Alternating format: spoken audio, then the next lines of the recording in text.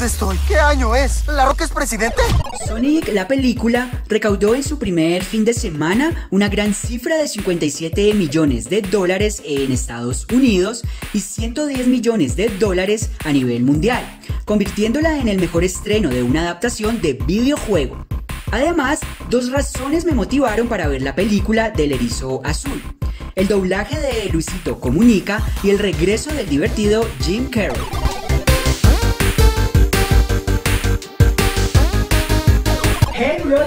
Brothers, ¿cómo están? Espero que súper bien. Para los nuevos en este universo, yo soy Matt Murad, aprendiz de escritor, creativo y soñador, y les doy la bienvenida a este nuevo video del universo de películas. En esta ocasión les hablaré, opinaré y les revelaré algunas curiosidades de Sonic la película. No olviden suscribirse en este universo y activar las notificaciones.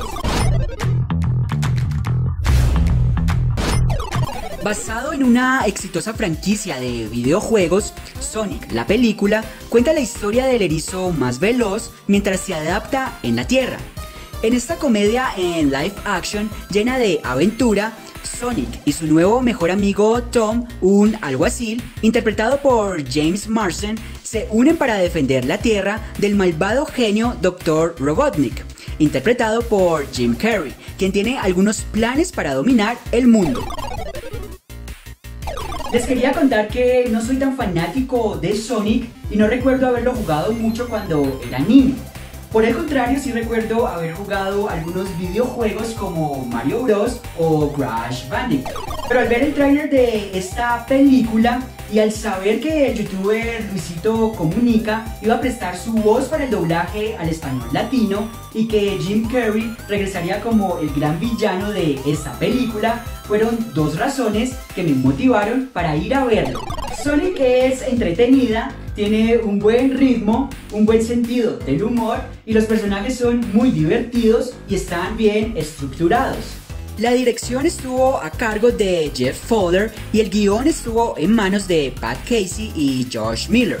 Y a pesar de que los lugares son paisajes que vemos comúnmente en las típicas películas americanas como San Francisco, hay escenas en las que se involucra una gran tecnología. Tal es el caso de la creación de Sonic o en las escenas del villano interpretado por Jim Carrey. Y hablando de Jim Carrey, puedo decir que estaba ansioso por verlo otra vez en este tipo de películas donde hay un toque de comedia. Pues él es un crack para generar momentos divertidos principalmente a través de sus gestos y sus diálogos. Pienso que Jim Carrey se roba el show en todas las escenas en las que aparece incluso superando por algunos momentos al propio protagonista, que en este caso es Sonic. También me gustó mucho cómo se va gestando esa bonita amistad entre Sonic y el alguacil Tom, ya que el sueño de Sonic es tener un amigo verdadero en esta tierra. Una tierra que para él es un poco extraña. En general, no esperaba una película muy profunda y con un gran mensaje. La película es muy sencilla en cuanto a producción y trama, pero es muy divertida. ¿Sabían que Sonic no siempre se llamó así? Antes de ser bautizado oficialmente como Sonic, al erizo azul lo llamaban Mr. Needlemouse. Al famoso youtuber Luisito Comunica lo invitaron a hacer el casting para el doblaje de Sonic, pero él salió sin muchas expectativas sobre su elección. Meses después, mientras se encontraba en otro país grabando sus videos y creyendo que ya habían elegido a otro actor de doblaje, recibió una llamada en la que le preguntaron si aceptaba ser Sonic, ya que su casting y su voz eran perfectas para el erizo azul.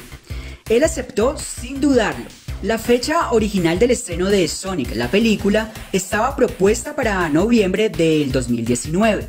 Sin embargo, las primeras imágenes dejaron decepcionados a los fans por el diseño tan simple del personaje, a tal punto que James Fowler anunció que el estreno se pospondría hasta febrero de 2020 para rediseñar y hacer lo mejor posible al personaje de Sonic. Ben Schwartz, el actor que presta su voz a Sonic en la película, puso su voz a Leonardo en la serie El ascenso de las tortugas ninja y al plátano de la Lego Película 2. James Marden no fue el único considerado para el personaje del alguacil Tom, mejor amigo de Sonic.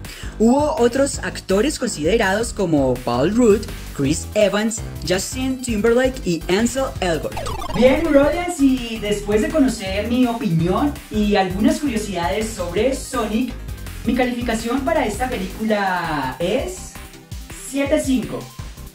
¿Cuál es tu opinión sobre Sonic y qué calificación le darías?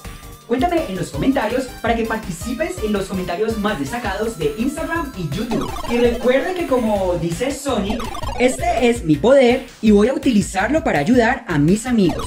Pero antes de irme, estos son los comentarios destacados y relacionados al video de Harley Quinn, Aves de Presa. Un saludo para todos y nos vemos en un próximo video.